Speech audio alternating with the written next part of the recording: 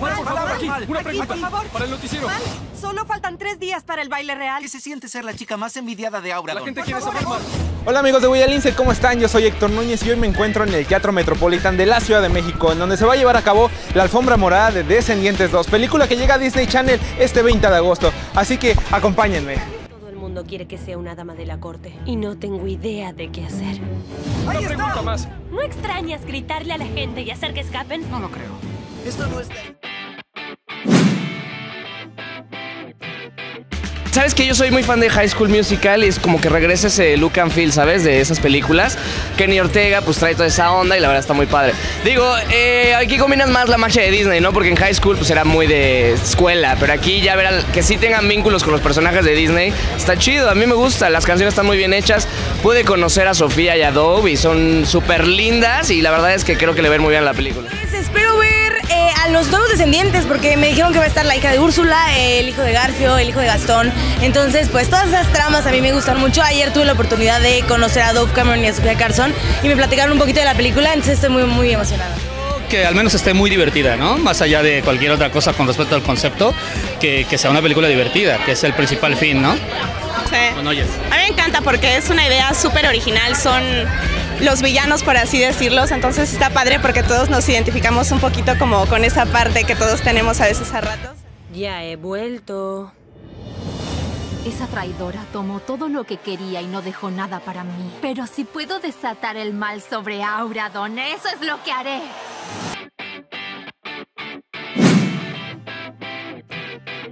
Esta película es mucho más profunda.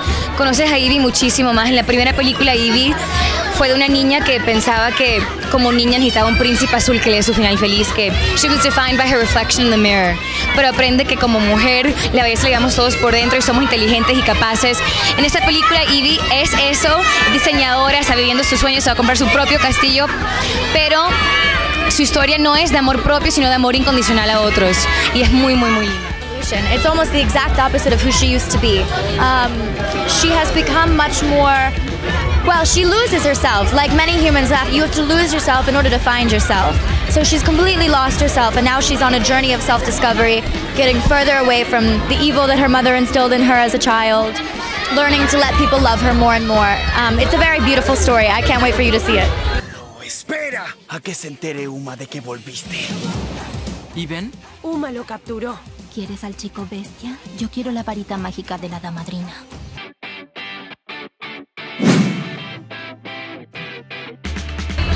Reina malvada, la reina malvada siempre ha sido mi favorita porque Blancanieves le hizo daño, le hizo, le hizo mal en algunas versiones por ahí, entonces tiene como su razón para estar un poco resentida y siento que es mal. No la comprenden como debe La de ser. justifica, la justifica. Yo creo que estoy entre Hades y Isma. Isma es sumamente simpática. Bueno, Cusco es una película que siento que está súper. eh, está muy poco valorada, es muy chistosa, a mí me gusta mucho. Y Hades se me hace un villano brillante, es, es genial. Es que Hades siento que es un gran villano. También, ¿sabes qué? De ayudante de villano me voy por Yago de Jafar, se me hace simpatiquísimo. Creo que es- eso es algo que tiene que tener un villano, aparte de malo, ser simpático. Hades es el mejor.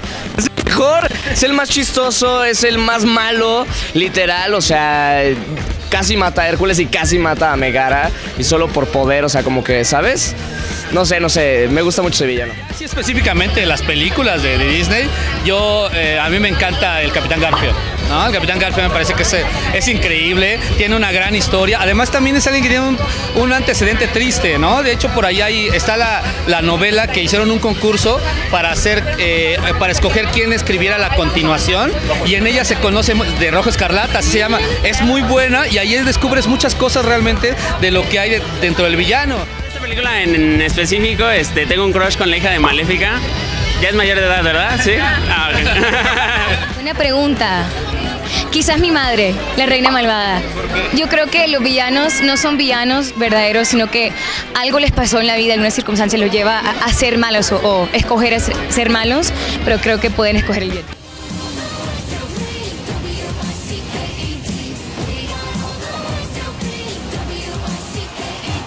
Pareció amigos todo lo que vivimos desde la alfombra morada de Descendientes 2? No se olviden de seguirnos en todas nuestras redes sociales, Facebook, Twitter, YouTube y que la película llega ya a Disney Channel este 20 de agosto. Me gustaría que en la barrita de comentarios me pusieran qué te pareció esta película y qué opinas de las canciones que aparecen en ella. Yo soy Héctor Núñez y nos vemos en el siguiente video. Ay, me encanta tu cabello. Lo sé, me encanta. Es más brillante. Hola.